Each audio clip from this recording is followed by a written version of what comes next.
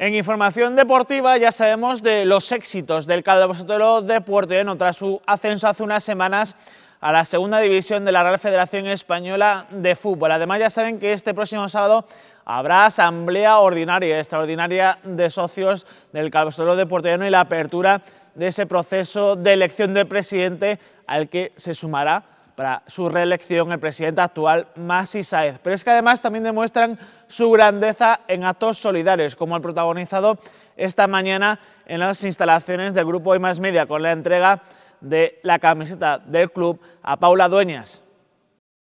Eh, somos un club, somos un club que aparte de lo deportivo eh, tenemos que dar la cara en todos los sentidos y en este caso pues bueno es un acto de solidaridad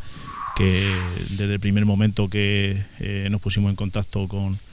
los mm, eh, protagonistas, pues eh, hemos puesto todo lo, hemos hecho todo lo posible por estar aquí y cumplir con, una faceta más de, nuestro club. A ver, yo estoy bien dentro de lo que cabe, aunque haya tenido que pasar por una segunda operación, pero bueno, de todo se sale.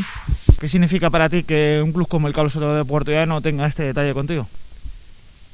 Pues mm, estoy muy agradecida con ellos que han tenido este detalle y... Hombre, para nosotros es un orgullo, lo primero eh, ser de Puerto Llano eh, y luego tener eh, un equipo como el Cabo Sotelo que asciende y encima se acuerda de sus de su gente, del pueblo, para nosotros es un orgullo total. Como te decía, que queda demostrado una vez más que el fútbol es más que un deporte, al final eh, el fútbol llega a millones y millones de personas y, esas personas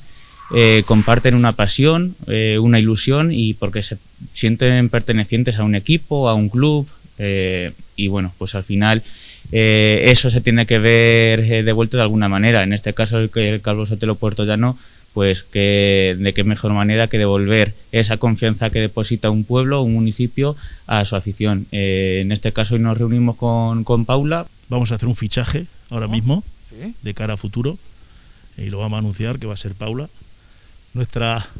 eh, una guerrera más en el equipo femenino. Anda. Eh, dentro de sus posibilidades y yo creo que aunque esté yo esté yo de presidente o no esté